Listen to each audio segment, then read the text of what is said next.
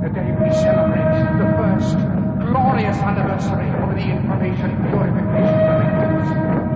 Created for the first time in all history a garden of pure ideology where each worker may bloom, secure from the pests, obeying contradictory laws. Purification of the laws is more powerful a weapon than any fleet or army on earth. We are one people, one will, one resolve, one cause.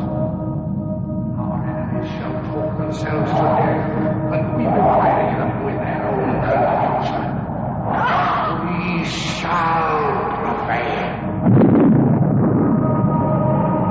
On January 24th, Apple Computer will introduce Macintosh.